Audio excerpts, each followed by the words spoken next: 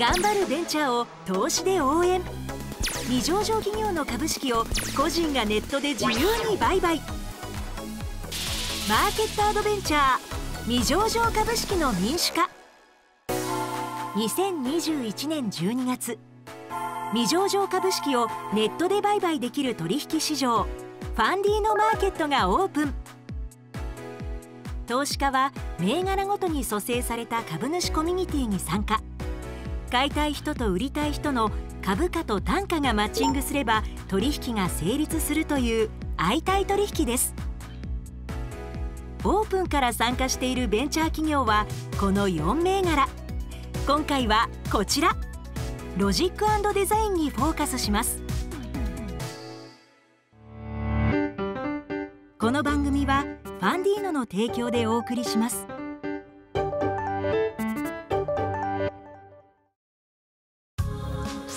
始まりました。マーケットアドベンチャー未上場株式の民主化。今回のゲストはロジックデザイン代表取締役社長佐藤公明さんです。佐藤さんどうぞよろしくお願いいたします、はい、よろしくお願いいたします。え早速ですがロジックデザインは何をしている会社でどこを目指していらっしゃるんでしょうか？当社はですね画像鮮明化のアルゴリズムおよびですね高解像度化のアルゴリズムの開発を行っておりまして鮮明化の方はリサ高解像度化の方はですねレナ。我々が目指しておりますのはそのリサとレナがよくコンピューターでインテル入ってるっていうシールが入ってると思うんです、はい、貼ってあると思うんですけども同じようにですね画像映像の世界で常に当社のリサとレナが使われているというですね、まあ、そういった立ち位置を目指しております。わかりました。では詳しい事業どんなことをされているのかは VTR をご覧ください。東京四谷の住宅街ここにロジックデザインの本社があります。こんにちは。よろしくお願いしますよろしくお願いします。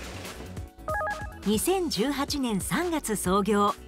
これまで株式投資型クラウドファンディングファンディーノで資金調達を3回実施。いずれも目標額を大きく上回りました。佐藤さんは広告代理店を経て医療関連の外資系企業で役員や社長を歴任。技術開発者である小林さんの画像鮮明化技術に魅せられロジックデザインを立ち上げました。現在ですねフラッグシップ的にあの発売しておりますのがこの下のグレーのボックスなんですけどもリサ101っていうふうに呼んでますけれどもいわゆる防犯セキュリティですねあるいは防災的なところで使われているものです。例えば今現在、まあ、あのうちの販売代理店さん経由ですけれども皇居の公共監視で採用されておりますしその関連でいわゆる警察関係に採用されているというものです。で最近医療機器として発売したのはベージュ色のものなんですけどもメディカルイメージエンハンサーで見えるっていうものですね。こちらが今当社のフラッグシップ的な機械になります。使い方はとてもシンプル。カメラとモニターの間に HDMI か SDI 端子のケーブルでつなぐだけ。ロジックデザインの画像鮮明化技術。果たしてその実力とは？霧のぼやっとした参道ですね。山道。人が降りてくるっていう絵がありますけどこうしますと人が降りてくるのが分かって文字が見えるようになるってですね形ですね。でまあこちらに数字があるんですけども255までこう上げていったりするとより出てくるんですけれどもまあその分ちょっとノイズも出てくるっていうこともありますのでどこをどう見たいかによってあの目的によってそれはうまくコントロールできるようになっています。雨や台風霧黄砂などの視界不良そして夜の映像でも少しの光があればこのように鮮明な映像にすることができます。医療現場での活用も始まっています証拠品の例はこういう鑑定写真がありますけどもこれもこうすることによって鮮明化できるとで明るいところはそのままにして見えづらかった細かいところが見えてきますので当然ですけど診断診察にも役に立つっていうですね。外科系ですね。あるいはまあ整形とか歯科とかかなり有効性が高いというふうに見てます。はい、なぜこのような画像鮮明化ができるのでしょうか？カメラが識別できる明るさの範囲をダイナミックレンジと言います。白く飛んだり暗かったりコントラストが落ちたところはこのダイナミックレンジが狭くなっています。ロジックデザインはその狭い部分を特殊なアルゴリズムで広げることができるのです。そんな技術開発を一手に担うのが小林正弘さん。開発のきっかけは原発の監視カメラの制御に携わっていた時のことでした。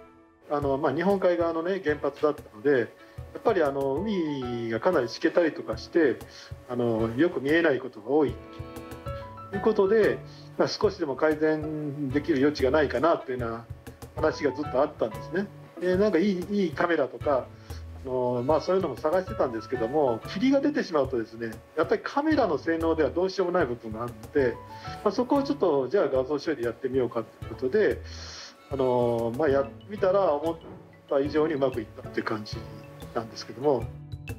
画像鮮明化技術を広く普及させるための鍵となるのが小型化いわゆるチップ化です高解像度のあの、まあ、内視鏡なり何なり医療系のカメラですね、まあ、今佐藤さんの進めてるチップ化ってことを今やってるんですけどもそういったことでですねコストを下げていってあの小さな病院でもあのすっと導入できるようなそういったそのローコストでハイスペックな装置というものをまあ開発してですねそういうものを普及していきたいなと思ってます。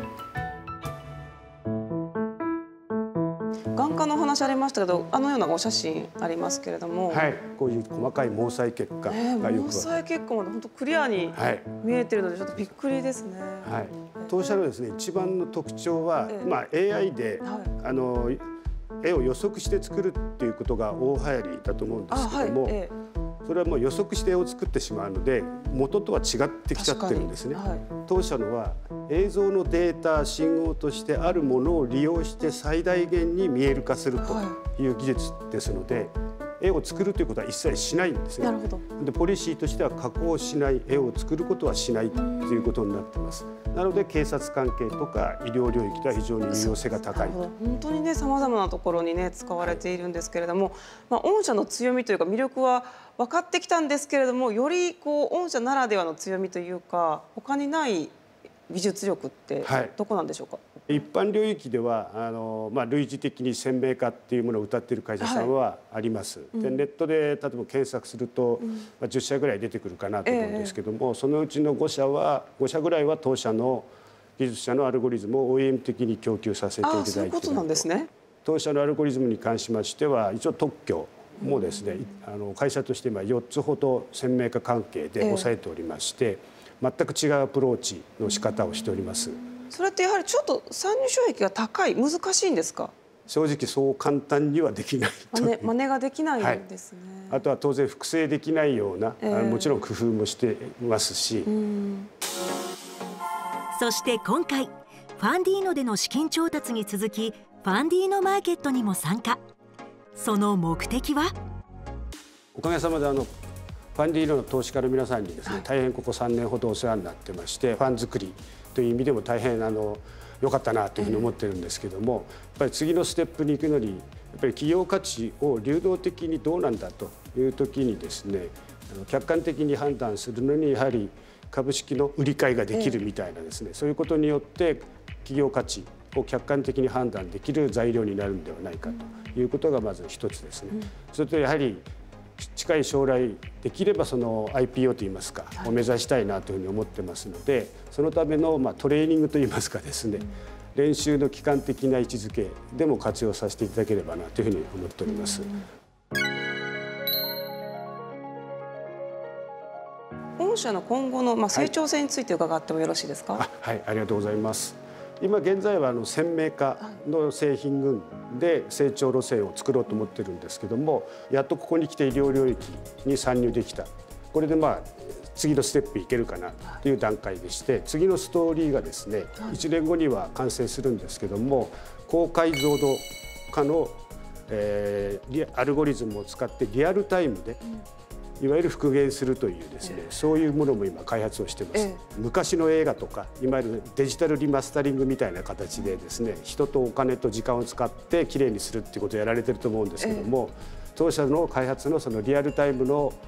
高解像度化技術を使いますと、はい、昔の画像とかあるいは昔の映画でこう雨が降ったような画像があると思うんですが、あれがもう一瞬にしてですね復元化できるっていう、そういう技術になります。それをリアルタイムで今やろうとしてるんですけども、それが1年後にまあ完成するかなと。そうすると本格的に復元化高解像度化のマーケットに参入できる。なるほど。でこれもう一つのメリットは例えば昔の画像 2K で撮ったものが 4K のモニターに映すとちょっとこう昔アナログからデジタルに変わった時のような形でボケるっていう形が起きるんですけども、はい、当社のこの技術を使えば 2K を 4K 並みあるいは 4K を 8K 並みにできるっていうそういうことも可能になってくるんですね。これがその高解像度化の技術です。なるほど。でこれがまあそして3番目のステップがチップ化です。3番目のステップとしてまさにチップ化してですね、はい、小さくしてまさに監視カメラ等に埋め込んでいくっていう、うん、こうすると本当にどこでもリサっていうのが実現できるっていうことでこのチップ化を今実現しようと思ってまして、えー、この3つのステップがストーリーが作るとかなりの成長路線が描けて一つのゴールが目指せるかなというところです。あとあのコロナで結構オンライン診療みたいなの普及しましたけど、はい、そこも御社関係してくるんですか、はい、ありがとうございます、はい、遠隔診療向けのオンラインでの画像鮮明化アプリの開発も、えー、アプリなんですね。はい行ってます。患者さんがスマホで、うん、まあ例えば皮膚科でちょっとここがあの荒れているみたいなですね。そこをスマホで撮られてそれを送ってきて先生側でそのアプリ、まあ、ソフトウェアをインストールしておけばその場でその部分だけがより見える。それをそのまま患者さんにも送ってあげられるっていうですね。それをまあスムースにできるようにするっていうそういうアプリも開発中です。可能性が広がる鮮明化高解像度化技術。普及の鍵は人材です。人材の方は、まあ、あの採用活動とかもされている感じですか今？はいあの今積極的にはまだ実は正直行ってないんですね、えあのやはり先立つものとの兼ね合いがありますので、ね。え、ただ開発したい、まあ、技術製品がもうとにかく目白押しですので、あ のそれを早め早めにやるためにはやっぱりどうしても人とあとはまあ営業力ですね。この3つの領域に関して販路をきちっと作っていかなきゃいけないっていうのがありますので、そういう意味ではやっぱり動ける人間人ですね。これがカバーできる人間がまあ喫緊の課題かなというところでございます。はい、それでは最後に投資家の皆様にコメントよろしくお願いいたします。はい。今後のですね先ほどお話しさせていただいたようなですね3つのステップをきちっとですね作り上げていくことによって当社の目指している5年後のゴールというものが確実に見えてまいります。そのためにはですね今回また改めてですね投資家の皆様にですね当社に関心をいただいてこの夢の実現にですねみんなの船みんなの会社に参画していただければというふうに思っておりますのでぜひよろしくお願いいたします。ますますの成長を期待しております。今日はどうもありがとうございました。ありがとうございました。